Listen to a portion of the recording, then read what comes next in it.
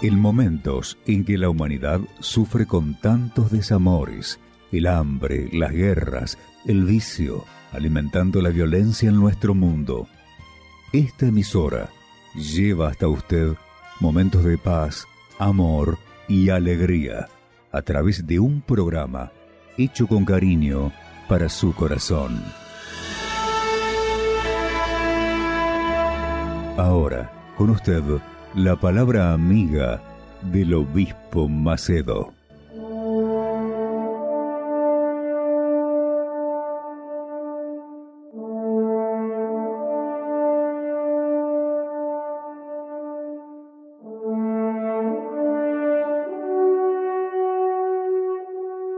Hola mis amigos. Hola mis amigos, que Dios los bendiga a todos ustedes. Que el Espíritu Santo, sin el Espíritu Santo, es imposible que usted alcance el perdón. Porque el Espíritu Santo es el Espíritu del perdón. Entonces, si usted si usted no quiere perdonar, si insiste en no perdonar, no existe oración que pueda resolver su problema. No sirve que se bautice en las aguas, no sirve que sea diezmista, ofrendante, no sirve que usted sea una persona de oración. Nada va a cambiar su situación. Porque el principio de nuestra relación con Dios es el perdón. ¿Cómo puedo, cómo puedo tener una relación con Dios con un corazón resentido?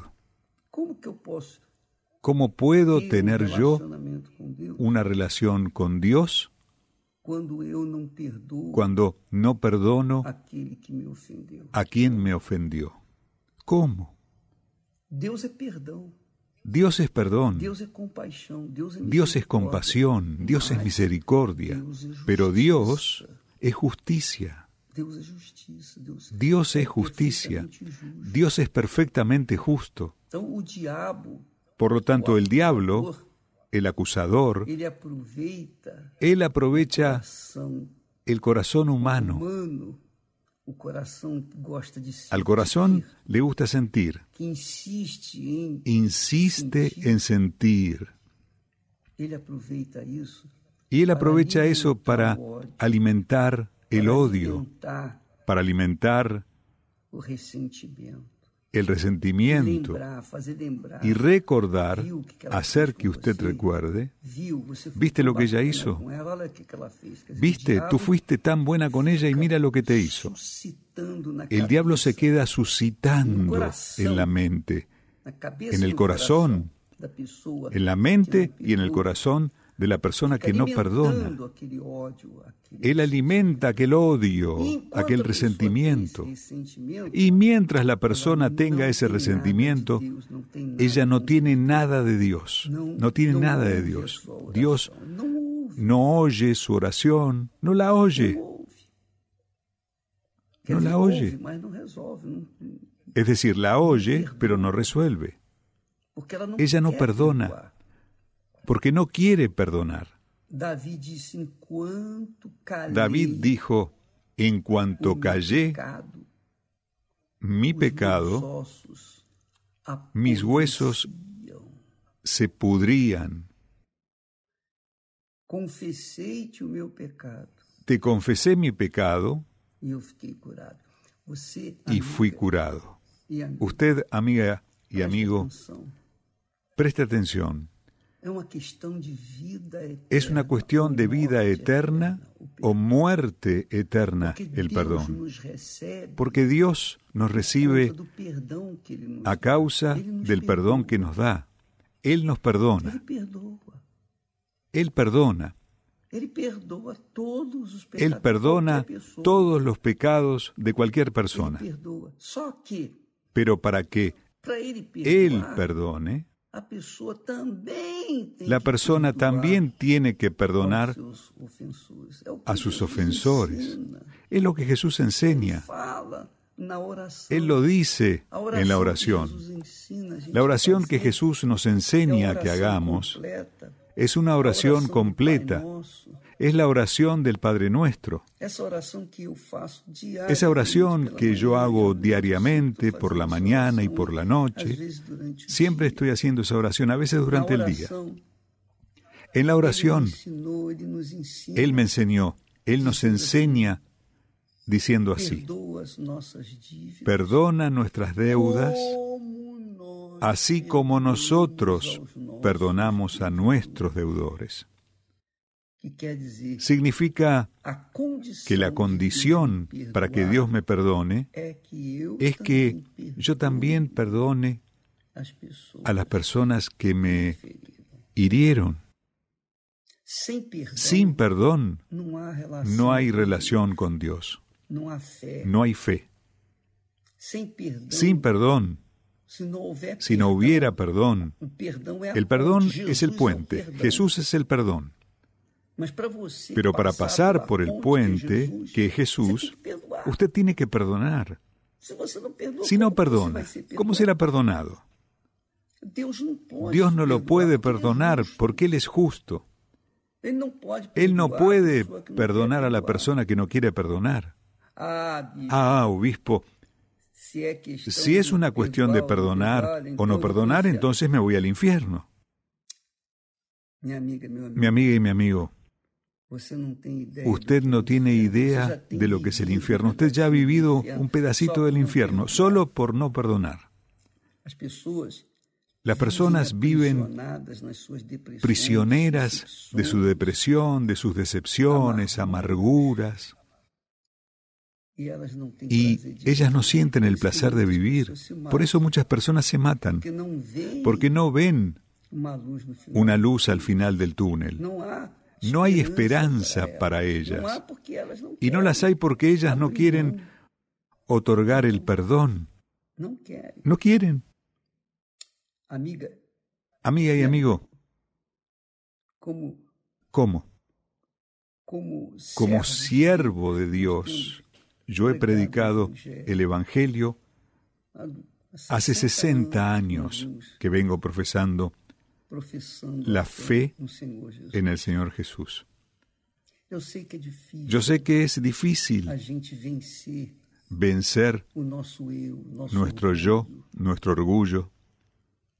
Es difícil perdonar una injusticia cruel.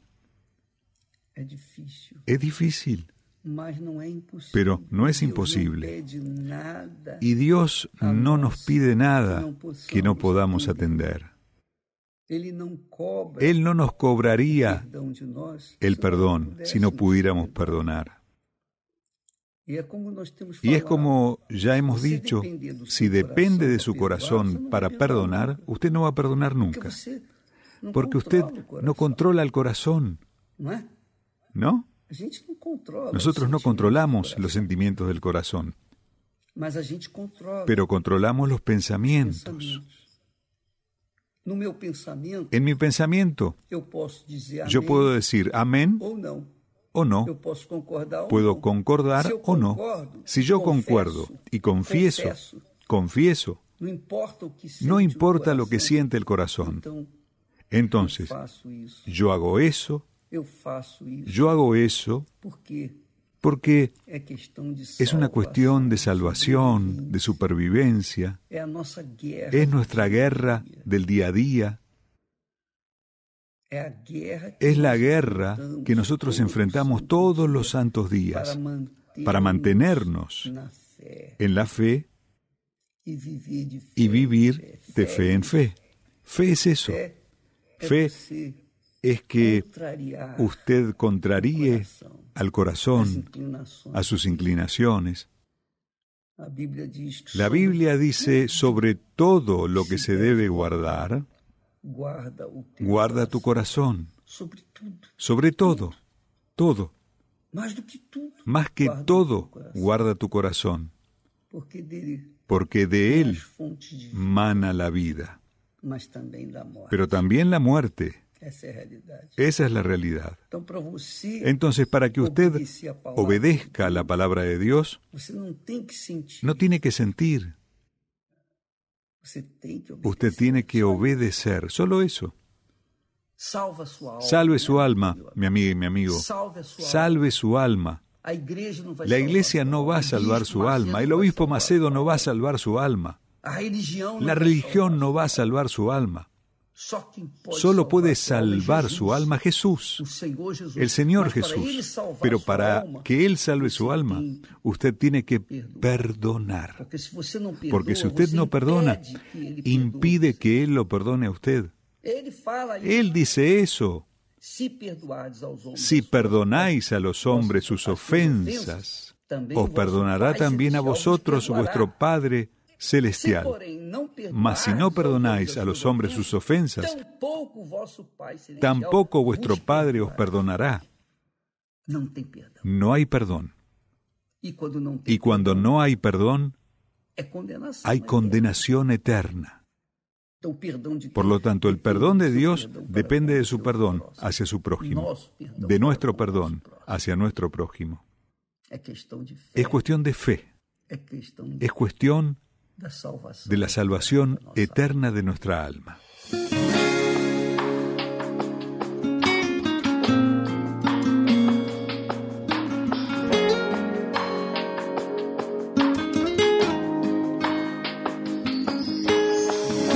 Por mucho tiempo yo viví en la orilla sin saber que existía la profundidad tanto tiempo yo pensé que todo se detuvo aquí y que no hay nada más allá. Hasta que esa voz oí que me dijo levántate y te mostraré lo que tengo para ti. Alza tus ojos tan lejos como puedas ver Dios ha dado el poder de ver más allá para vencer. Alza tus ojos, mira a tu alrededor. La promesa está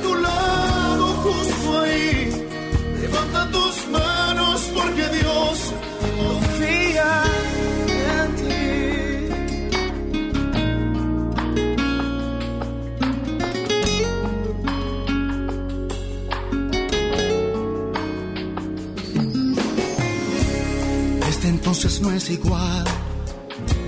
Ahora sé lo que es real. No quiero volver atrás. Ahora soy un vencedor. Su promesa me alcanzó. Ahora sé a dónde ir. Desde que esa voz oí que me dijo levántate y te mostraré lo que tengo para ti. Alza tus ojos,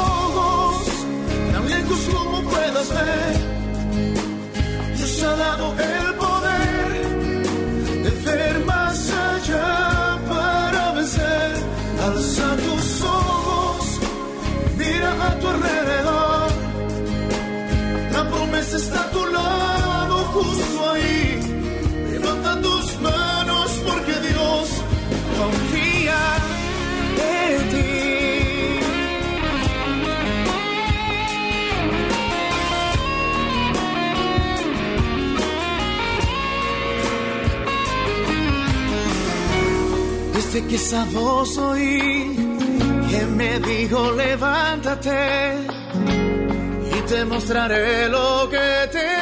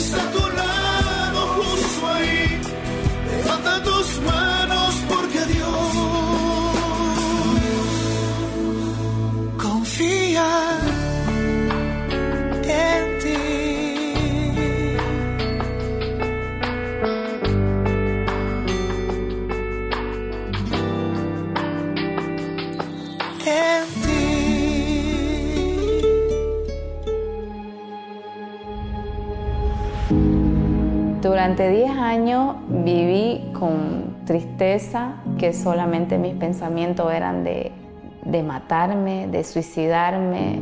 Mi nombre es Rosidel Suárez, yo tengo depresión.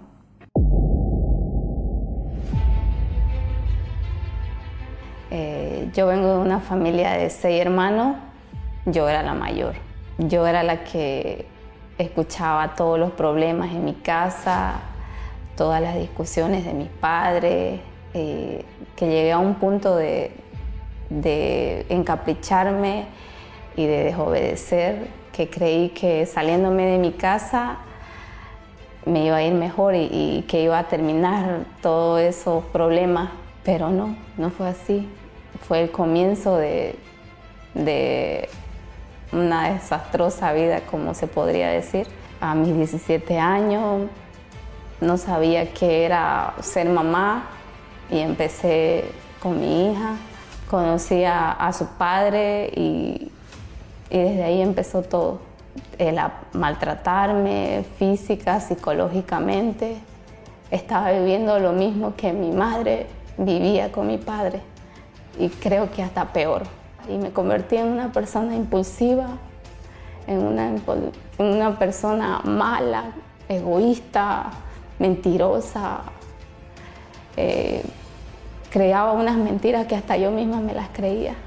Y entonces me convertí en una persona viciosa.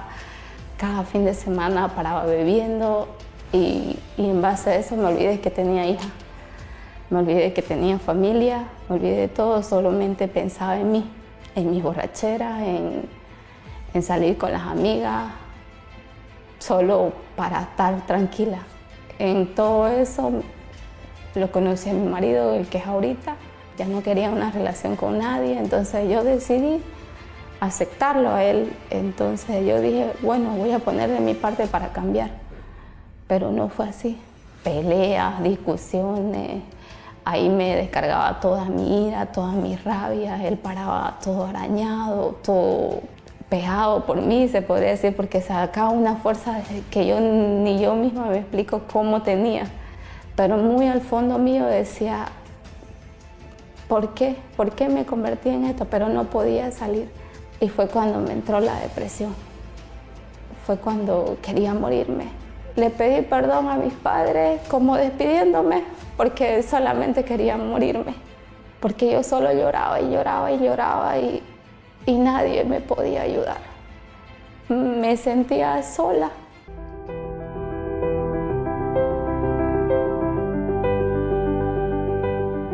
Que llegamos a un punto de, de venir aquí.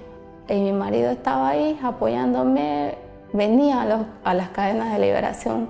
Yo ya no quería ser así, es lo último que hago y si no, pues lo que se venga.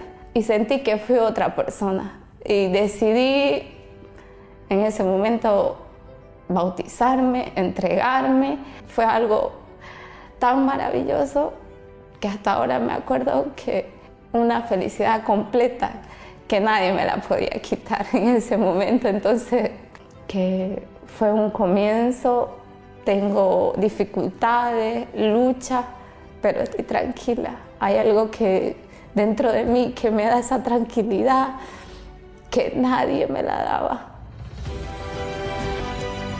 Me siento con las, con las niñas, le pregunto las tareas, cosas que en el pasado jamás hice. Le pregunto cómo se sienten, eh, cómo les fue en el colegio. Entonces ya estoy tomando ese rol de madre que nunca, que nunca había hecho ni había intentado por lo menos hacer. Se podría decir que soy el apoyo para él, para ambos, para la familia.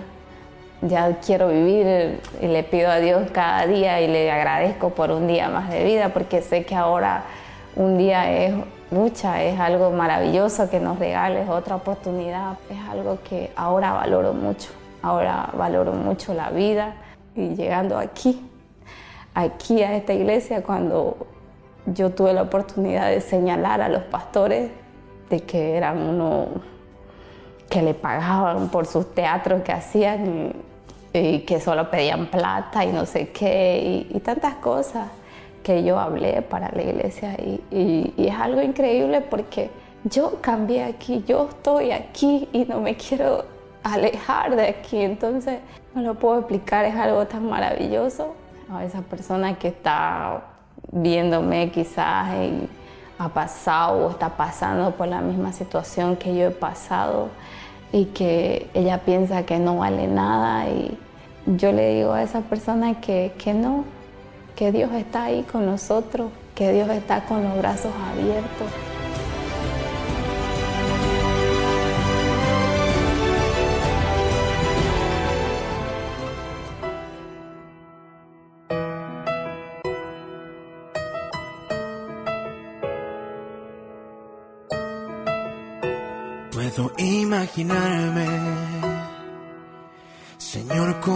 Será al estar frente a ti.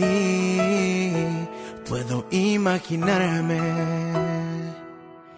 lo que allí veré con tu rostro frente a mí.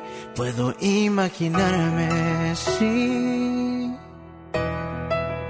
solo imaginarme ah. Rodeado de tu gloria que sentirá mi ser. Danzaré por ti mi Cristo o en silencio quedaré y estaré de pie en tu gloria. O me tendré que arrodillar cantaré aleluya. Quizás aún ni pueda hablar, puedo imaginarme. Oh, imaginarme. Oh, oh, rodeado de tu gloria, que sentirá mi ser, danzaré por ti, mi Cristo, o en silencio quedaré y estaré